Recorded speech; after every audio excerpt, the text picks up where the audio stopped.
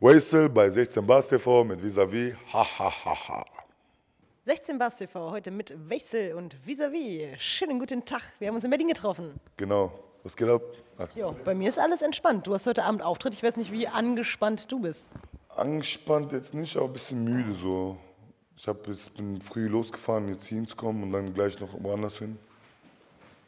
Wie waren denn generell so die letzten Tage und Wochen? Du bist gerade auf Tour, du hast schon ein paar Städte mitgenommen. Wie war das Tourleben so für dich bislang? Es war ganz, äh, ganz schön eigentlich, ähm, nur ich habe meine Stimme verloren nach dem dritten Tag, vierten Tag. Da musste ich ein bisschen kürzer treten und äh, mich ein bisschen schonen. Und ja, jetzt bin ich 80 Prozent wieder zurück. Man hört noch ein bisschen, ist noch ein bisschen. Aber eigentlich ist deine Stimme doch immer so, oder? Ja, aber die ist noch ein bisschen angeschlagen. Ich merke es. Ich kann nicht 100 Prozent geben. Ja, dann heute schön Ingwer-Tee trinken vom Auftritt und solche Sachen. Wisst ihr, wie viel Ingwer ich vernichtet habe in der letzten eine Woche? So viel Ingwer produziert, glaube ich, nicht die größten Felder oder so. Wo, wo, wo, wo, wo wächst das eigentlich? Das ist Wurzel, gell? Ja, das sind so eine Wurzeln, genau. Glaub mir, die ganze Erde hat nicht so viel Ingwer zur, äh, zur Verfügung gehabt. Ich habe viel getrunken auf jeden Fall. Honig, äh, Milch mit Honig. Ja, die Sachen, eben, die man kennt. Aber lag das auch darin, dass du auf Tour so ein bisschen auch gefeiert hast und auch dann mal ein bisschen was getrunken hast? Kein Alkohol. Ich trinke schon seit über anderthalb Jahren keinen Alkohol mehr. Ähm, wenn die Leute abgehen und so richtig am Ausflippen sind, dann flippst du auch gleichzeitig aus. Und dann gibst du dein Bestes und gibst du 200 Prozent, aber man sollte nicht, man sollte sich seine Kraft einteilen. Also so meine ich das. So ist es besser auf jeden Fall. Hattest du denn irgendein Highlight bislang? Also irgendeine Stadt oder irgendein Moment, irgendwie irgendein besonderer Fan oder gab es irgendwas, was dir besonders in Erinnerung geblieben ist? Also Leipzig ist gestern bös abgegangen, Münster ist abgegangen. Ja, die beiden Städte sind jetzt äh, die Favoriten bisher, also die meiste Party gemacht haben. Gibt es irgendwas auf Tour, was bei dir immer dabei sein muss, was du die ganze Zeit machst? Hast du irgendwelche Rituale oder so? Rituale. Immer frisch duschen, immer frisch rausgehen. Ich bin sehr pingelig, was sowas angeht. Ich muss immer Maximum frisch sein. Und danach dann auch nochmal wahrscheinlich Maximum frisch, wenn du dich dann wieder unter die, die Fans schmeißt, oder? Ja, so, genau. Und ähm, die nächsten Wochen wird ja, das wird ja jetzt wahrscheinlich nicht weniger anstrengend. Also ihr habt auf jeden Fall noch einige Tourdates ähm, vor euch. Tust du irgendwas für dich außer Ingwertee trinken, damit du, damit du so eine Zeit durchstehst? Ich denke mal, wenn man zurück nach Hause kommt, sollte man zu Hause bleiben und nicht äh, noch äh, irgendwo sich draußen aufhalten und äh, noch Party machen gehen. Das ist ein Monat äh, mit Arbeit verbunden. Auch natürlich, das macht auch Spaß, aber es strengt auch äh, natürlich die Stimme an und äh, dementsprechend sollte man sich ausruhen, wenn man dann Pausen hat. Wie ist die Stimmung denn mit den anderen Jungs? Ähm, Chill und Abdi sind dabei, Oleg Sesh. Versteht ihr euch alle gut oder geht man sich auch irgendwann mal auf den Sack? Nein, nein. Ach, natürlich, es gibt auch gute, Good Times, Bad Times, aber, aber Hannibal ist dabei, ein neuer Freund namens Nimo ist dabei. Und ähm, wir haben alle dick Spaß, sage ich dir ganz ehrlich. Natürlich, der eine will mal früher schlafen, der eine will länger bleiben und so. Aber das kann man schon untereinander irgendwie ausmachen. Hast du da so jemanden, der die ganze Zeit an deiner Seite ist? Es gibt ja dann auch mal so Grüppchenbildung, wenn man, wenn man so mit mehreren Leuten unterwegs ist. Wer ist so dein, dein Tour-Bro die ganze Zeit? OL, Äh, ja, V-L-O-L. ihr beide habt am meisten Spaß zusammen. Ja, und Sami ist auch dabei. Lass uns mal noch mal so ein bisschen sprechen, auch ähm, ja, über vielleicht deine aktuelle Situation. Du, ähm, ich glaube, du kannst mittlerweile jetzt von dir behaupten, dass du ein Rapper bist, ein Musiker, der damit auch sein Geld verdient. Das ist, deine, das ist dein Beruf und quasi das, was dein Leben gerade hauptsächlich bestimmt, oder? Ja, so in, der, in die Richtung, ja. Es ist trotzdem, finde ich, auffällig, dass ähm, du immer noch an vielen Stellen und auch in Interviews ähm, oft mit deiner Vergangenheit konfrontiert wirst. Das passiert immer mal wieder. Ist es so, dass du ähm, Angst davor hast, dass du das langfristig nicht so richtig abschütteln kannst, dass du quasi immer doch der Typ auch mit der kriminellen Vergangenheit bist, der Typ, der im Knast war? Oder glaubst du, dass du es irgendwann schaffen kannst, wirklich einfach nur der Rapper zu sein, der Musik macht und dafür bekannt ist? Ich bin der Rapper, der im Knast war.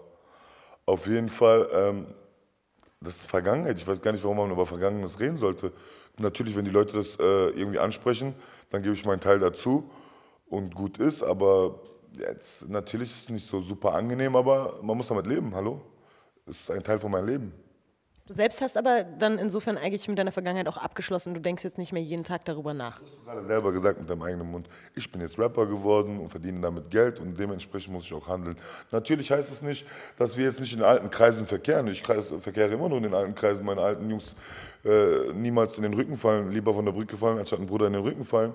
Und ja, so ist das. Aber, aber ich kann mich persönlich von mir aus äh, sagen, von, von mir aus sagen, dass ich jetzt nicht mehr von äh, der Sorte bin, die nur Scheiße bauen geht, sondern äh, von der Sorte bin, wie du gerade gesagt hast, Musiker. Das ging ja dann auch alles relativ rasant. Also von diesem Tag, an dem du aus dem Knast gekommen bist, das Signing bei den Aslaks, du ähm, hast Auftritte gemacht, du hast ein sehr erfolgreiches, ähm, ein sehr erfolgreiches Mixtape veröffentlicht. Jetzt kommt das Album. Glaubst du, dass dieser Weg auch so schnell gegangen wäre bei einem anderen Label oder ohne ein Label? Ähm, erstens, ich war gar nicht darauf aus, irgendwie Rapper zu werden oder so. Das wiederhole ich nochmal. Das war einfach so ein Ding. Ähm, ich habe ein Video gedreht mit äh, gewissen Möglichkeiten, die ich hatte.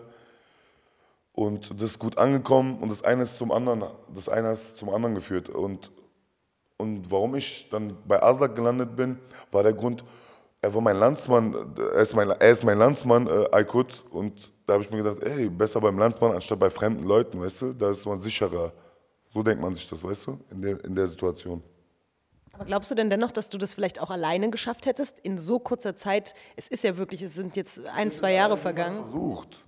Ich, hätte, ich, ich wäre nie davon ausgegangen, dass ich irgendwie Rapper werden will oder, oder diesen Weg. Ich kannte doch die ganzen Rapper schon. Ich hätte doch diesen Weg schon vorher einschlagen können. Ich kannte auch vom Ruhrpott die ganzen Rapper. Aber ich bin ein Altendorfer Junge. Ja, Mit mir kann auch nicht jeder, weißt du, was ich meine? Und ich kann auch nicht mit jedem. Das, äh, ich bin äh, ein sehr temperamentvoller Typ. Aber auch nicht äh, in falschen Stellen. Also alles, alles läuft gerecht. So, weißt du, ich meine? Das heißt, der Weg wäre tatsächlich einfach ohne Haft ein komplett anderer gewesen. Ich wäre auch 100% weiter auf Straße gewesen oder vielleicht hätte ich geheiratet oder so oder irgendwas. Aber dadurch, äh, da- dass wir telefoniert haben, ist das eine zum anderen geführt jetzt. Aber man muss mal auch so sagen, im Endeffekt hat die Arbeit, die ich gemacht habe, mich auch dahin geführt, wo ich bin. Ja? Ich bin okay. Aber mein Bruder hat, hat mir die Tür aufgemacht, aber laufen muss ich alleine, weißt du? Wie sehr hat er denn jetzt Einfluss genommen auf deinen Albumaufnahme- und Entstehungsprozess? Hat er dir über die Schulter geguckt oder dich komplett dein Ding machen lassen? meine Schulter geguckt. Ich war ganz alleine bei, Album, bei diesem Album, zu Hause mit mir zusammen, mit meinen Kollegen, mit meinen Freunden aus meinem Viertel. Und äh, wenn irgendeiner was dazu beigetragen hat, dann waren die das so mit Motivation und mit Ideen und so. Ja, also das ist auf jeden Fall ein selbst eigen, eigen entstandenes Projekt. Aber als es dann fertig war, wie hat dann äh, Aykut darauf reagiert? Hat er gesagt, das ist alles super? Er hat es noch gar nicht gehört. Ich habe es auch keinen hören lassen, ehrlich gesagt. Weil ähm, äh, ich habe so gemerkt, keiner zeigt seine Musik. Und dann habe ich mir gedacht, so, warum soll ich meine zeigen? Also ihr zeigt euch untereinander nicht irgendwie so, ey, ich habe hier einen neuen Song, hör dir das mal an, was sagst du? Nur, den, nur das Feature hören die selber, das mehr nicht. Aber warum? Woran liegt das? Weiß ich nicht. Wir machen vielleicht so ein bisschen Geheimnis auf, so Überraschungskiste. Guck, so Überraschungseffektmäßig. Das hat jetzt nichts damit zu tun, dass man vielleicht nicht mit der Kritik des anderen umgehen kann. Nein, nein, das hat gar nichts. Jeder hat doch seinen eigenen Geschmack. Jeder will doch das machen, was er will. Das, ähm, ähm, wenn man das macht, was man will, das interessiert keinen, was ein anderer sagt. Und äh, wenn du jetzt, also ein paar Kumpels zumindest, hast du vielleicht schon was gezeigt. Was waren denn so die ersten Reaktionen darauf? Was, was war so vielleicht, was waren so Schlagworte, die kamen, wenn man deine neuen Songs gehört hat? Ich meine Freunde, immer- also meine Eltern sind jetzt äh, schon äh, seit einem längeren Zeitraum in der Türkei. Die leben so ein bisschen, die gehen immer dahin und kommen wieder zurück. Und, ähm, und wir waren dann immer alleine bei uns zu Hause, sturmfrei und so, chillen, millen, Beats laufen. Meine Freunde wissen nicht so viel von Rap und so Bescheid. Aber die wissen es natürlich, wenn sich was gut anhört. Und dann habe ich es gemacht und gesagt, Baba, Bruder, Baba, Baba, das ist Baba, das ist Baba und das ist Baba, das ist nicht so gut, das ist Baba. So, so ging es einfach. Also Baba ist das Prädikat, was man auf dein Album packen kann. Also Baba kann man gut, schön, ist gelungen nennen. Weil du gerade ähm, deine Eltern und die Türkei angesprochen hast, ähm, du hast neulich gesagt, dass du ja, dich in Deutschland eigentlich mh, nach wie vor fremd fühlst und dass du eigentlich nur ein bisschen Geld verdienen möchtest und dann auch in die Türkei gehen willst. Vielleicht in die Türkei, vielleicht auch woanders hin. Ich meine, ähm, ganz ehrlich, in Deutschland ist es so, ne, man kann hier Geld verdienen, aber nicht genüsslich das Geld ausgeben. Ähm, wenn man so mal auf die Straße geht, Leute lachen hier sehr, sehr, sehr, sehr wenig. Und das hat doch was mit diesem System und so zu tun. Mit was denn sonst? Mit dieser Struktur, wie die die hier aufgebaut haben. Aber geht man mal nach Holland oder nach Frankreich, Frankreich ist richtig Ghetto, aber warum lacht das Ghetto die ganze Zeit? Anscheinend ist da was anderes äh, am Laufen. Weißt du, hier sind die Leute wie das Wetter, Alter. Weißt du, und auch, ich will jetzt nicht sagen, ich fühle mich super fremd, hier ist meine Heimat, sage ich dir ganz ehrlich, auch wie Türkei meine Heimat ist. Aber man ist überall ein bisschen fremd. Dort, hier. Man will irgendwo einen Ort haben, wo man sich wohlfühlt, ehrlich gesagt. Du hast ja auch ein Video gedreht in Istanbul. Ähm, und hast, glaube ich, auch gesagt, dass, dass ihr eigentlich ein bisschen was anderes vorhattet, aber letztendlich der Ort euch dann so ein bisschen inspiriert hat, ja. dann das Videokonzept ein bisschen umzuwerfen. Was, was genau hat diese Stimmung da mit dir gemacht? Dort, die Stimmung. Man sieht so kleine Kinder, die so arbeiten gehen, die Zuckerwatte verkaufen, Beispiel, oder diverse andere Sachen. Er ist trotzdem Kind, er hat sein Kindsein nicht verloren, obwohl er gerade da am Arbeiten ist, weißt du? Und hier macht er so, Mama, ich habe kein iPhone bekommen, Mann, Mann. Und hast du nicht gesehen? Und was er dann macht wegen so einem iPhone, der geht seiner Mutter drei Monate lang Terrorismus auf ihre, auf ihre Birne machen, weißt du? Das geht doch nicht, Alter. Was ist das für eine, ja, was ist das für eine Welt, Alter? das hat ja wieder was mit unserer Generation zu tun. Ich habe auch äh, viel mehr draußen gespielt als unsere, jetzt unsere ja. kleinen Geschwister, Kinder, was auch immer. Ja, aber das hat was damit zu tun, dass die Leute das eben so formen, die Zeit und so. Das ist aber nicht cool. Sag ich dir ganz ehrlich. Das äh, kleines Kind, äh, Handy, weißt du, wann ich Handy gesehen habe? Oh, da war ich schon längst raus aus der Pubertät, schon längst, längst raus. Ja, nee. Und man hat sich draußen getroffen. So Sachen, so ganz normale Sachen, menschliche Sachen. Guck mal, letztes Mal war ich am Sitzen vorgestern oder so mit so einem Kollegen, der sagt so, der sagt so, weißt du noch früher so? Der sagt so, wenn man eine Freundin hatte, dann war die aus der Umgebung oder von einem Kollegen, die Bekannte so. Das war im Umkreis von einem Kilometer oder so, diese Bekanntschaft. Heute Facebook, nackte Bilder werden ausgetauscht, die Torwärtin von USA macht Fotos so. Verstehst du? Wir kommen in einer verrückten Welt. Die haben die Welt dreckig gemacht, sag ich dir ganz ehrlich. Meine Welt war gut. Aber diese Welt, dick Schmodder. Willst du dann deinen Kindern später Handys, Internet, alles komplett verbieten? Ich verbieten, mir bieten, aber ich würde es ihnen auch nicht äh, in die Wiege legen. Im wahrsten Sinne des Wortes. So sieht's aus. Ähm, lass uns noch ein bisschen über deine Musik sprechen. Das, was man bisher hören konnte aus deinem neuen Album, kann man schon sagen, ist eigentlich alles komplett unterschiedlich. Also jeder Song hat irgendwie eine eigene Thematik, hat auch ein anderes Soundbild. Ist das so, dass es auf dem gesamten Album eigentlich jeder Song irgendwie ein, ein anderes Konstrukt ergibt oder gibt, ja, es diesen, krass, krass. gibt es diesen bekannten roten Faden doch noch irgendwo? Ja, es ist schon von der Musik her und vom Style her sind schon viele verschiedene Varianten da. Ist doch langweilig, wenn ich 15 Lieder gleich mache, oder? Findest du nicht? Gleich wäre natürlich tatsächlich sehr langweilig, ja. Also, kennst du, viele Rapper machen das so, die haben so 15 Lieder drauf und es hört sich einfach gleich an. Okay, vielleicht sagt er mal da Pumpkin und da Uzi, aber es hört sich gleich an. Hast du da besonders Wert drauf gelegt, dass du einfach dachtest, du möchtest, dass jeder Song irgendwie. Nee, das habe ich so gemacht. Äh, ich habe mir die Beats so ausgesucht. Äh, die Beats waren immer anders und dementsprechend habe ich auch gehandelt. Was ich aber auch ein bisschen auffällig finde, gerade bei den zwei Videoauskopplungen, ähm, bei Zahnlücke und ähm, was der Kleine sagt, die sind ja schon so ein bisschen, also von der Aussage her, ein bisschen widersprüchlich. Also auf der einen Seite hat man, hat man dich als Wesel, der sagt, ähm, in mir steckt immer noch der, der Straßenjunge und man die, immer noch so ein bisschen dieses, dieses Gangster-Sein. Und auf der anderen Seite hat man auch das Gefühl, möchtest du ein bisschen als Vorbild, äh, lass mich ganz kurz aussagen, auf der anderen Seite hat man das Gefühl, dass du so ein bisschen als Vorbild äh, fungieren möchtest und auch eben für, für Menschen sprichst, die aus einer ähnlichen Situation kommen wie du. Wie lässt sich das beides miteinander vereinbaren? Das ist so, das ist Musik, ja? Und das ist ja meine Vergangenheit. Ich bin Gangster-Rapper. Dann habe ich das Recht, auch ein bisschen sowas zu machen, zu entertainen. Ich habe nicht gesagt, mach das oder tut das oder tut das oder irgendwas beleidigt.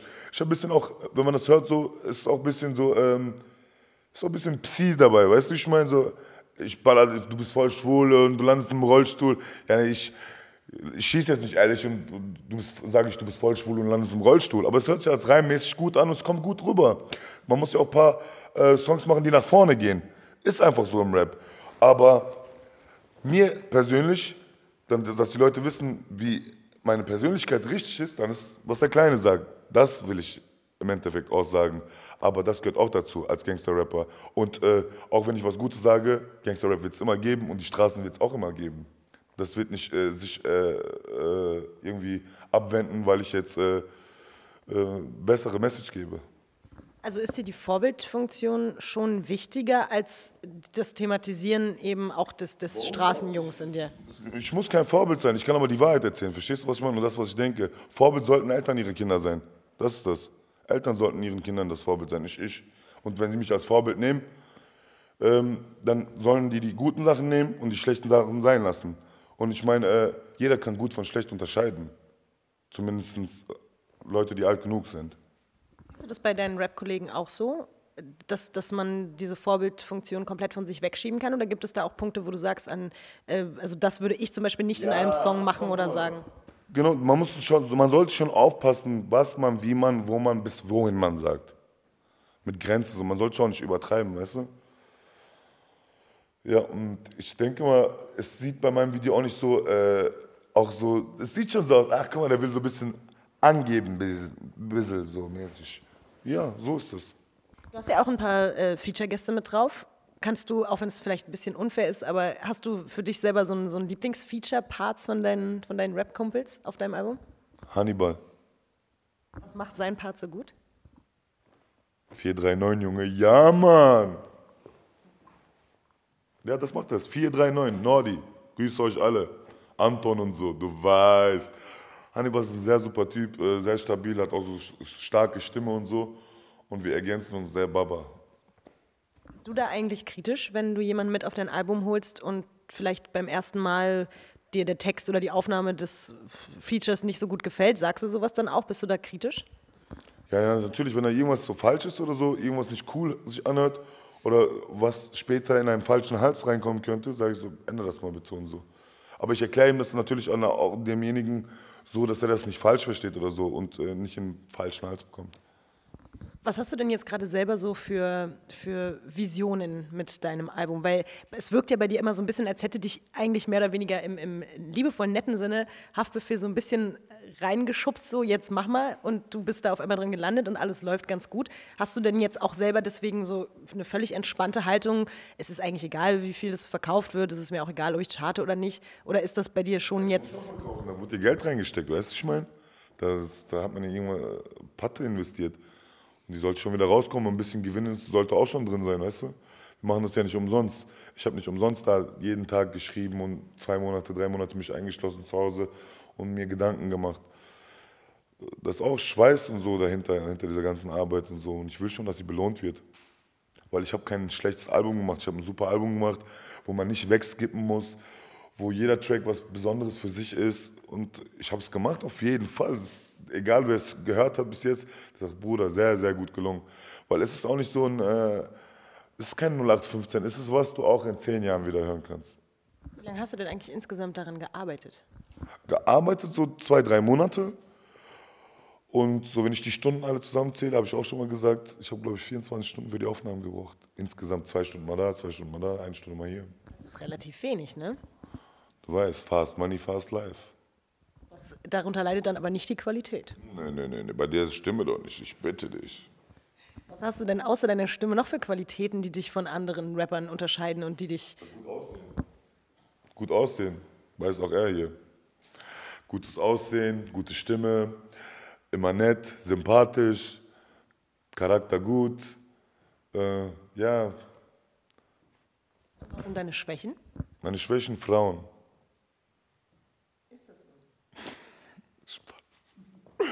Nein, meine Schwächen, was sind meine Schwächen? Keine Ahnung. Frauen. Kann sein. Gerätst du zu oft in Versuchungen, gerade auch als Rapper fällt es ja dann den, nein, den Mythen nach sehr leicht. Nein, nein, nein, nein, das nicht. Aber so, ich gucke schon hinterher. So, meine Augen sind schon so, die gucken hinterher, aber die gucken auch zurück. Aber dieses Gucken macht schon Spaß. Es ist, ist auch nicht mehr wie ein Gucken, es ist nur Gucken. Das ist ja völlig in Ordnung. Also. Aber ich mag das, mit so Frauen so Blickkontakte machen. Aber solange dich das nicht ablenkt von deiner Arbeit, ist das ja eigentlich keine Schwäche. Nein, motiviert mich. Also hast du keine Schwächen, um es auf den Punkt zu bringen? Nein. Das freut mich für dich. Ähm, bevor es jetzt ähm, zu diesem Album kam und bevor du deine eigenen Videos gedreht hast, ähm, hattet ihr, glaube ich, auch noch einen sehr spannenden, ähm, aufregenden Videodreh mit einem der ja, wichtigsten, bekanntesten Schauspieler in Deutschland. Ähm, für Chilo und Abdis ähm, äh, Album habt ihr mit Moritz Bleibtreu ein Video gedreht. Wie war das für dich? War das irgendwie ein besonderes, besonderer Moment? Ja, natürlich. Ich gucke so, Moritz Bleibtreu ist da. Ich so, okay. Ja, und äh, ich, ich habe dir eine Rolle bekommen in dem Video. Ich war so seine rechte Hand mäßig. Ähm, und er hat auch zu mir gesagt, du, du bist ein Übertalent, was, Schauspielerisch, äh, was Schauspielerei angeht und so. Und äh, ich werde am Ball bleiben, was das angeht. Und ja, mal gucken jetzt. Ich will mir jetzt dann da auch kein Schloss drauf aufbauen und so. Aber der hat mir auf jeden Fall Baba Props gegeben. Und ja, vielleicht meldet er sich noch. Du weißt, Moritz Abi, ruf an. Das würde dich auch reizen, vielleicht neben der Musik noch eine Schauspielkarriere aufzubauen? Entschuldigung, ich habe dich unterbrochen. Jetzt vor ein paar Tagen habe ich jetzt äh, vorgestern Duft der Straße gedreht. Ähm, und auch das ist auch ein äh, Filmproduzent, also der das eigentlich, der macht eigentlich Filme und sowas. Der hat gesagt, Bruder, ich sage dir ganz ehrlich, du bist für Film gemacht. Dein Gesicht, deine Stimme, wie du dich hältst, wie du guckst, unglaublich. Schneidet euch eine Scheibe ab. Aber wahrscheinlich werden die Rollen dann schon so auch auf den, auf den Gangster-Straßentypen limitiert. Gangster, warum? Ja, kommt drauf an. Gangster, der Pate, der Boss, der Kaiser, der König.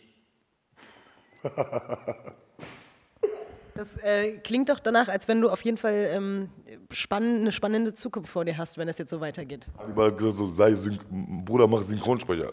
Hallo, was geht ab? Das habe ich dir, glaube ich, aber auch schon mal gesagt. Ja, aber ich meine, wir haben mehr drauf, als ein Synchronsprecher zu sein. Ich bin schon, ich will schon so einen Robert De Niro machen. Du kannst ja beides. Du kannst ja Schauspieler sein und synchronisieren. Ja, Oder du könntest auch, du könntest auch ähm, Radio moderieren. Also deine Stimme gibt einiges her. Also. Yeah, welcome to Radio Outlook Point 9 FM. Uh, listen to Vis-a-vis and me. Weißt du, ähm, gibt es von deiner Seite noch Dinge zu sagen zum Album, zur Tour?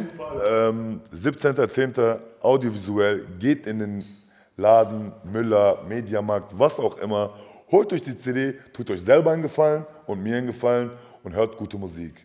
Wastel, audiovisuell, 17.10. nochmal zu wiederholen. Ich danke dir, ganzer Erfolg und alles ja. Gute. Dir auch alles Gute, bye. Ich bin Disaster, ich bin 20, ich komme aus Hamburg, St. Pauli und ja. Ich bin eher im Norden Hamburgs aufgewachsen, wohne auf St. Pauli jetzt seit knapp drei Jahren. Äh, bin Langhorn, Schnellsen, Niendorf, da die Ecke aufgewachsen.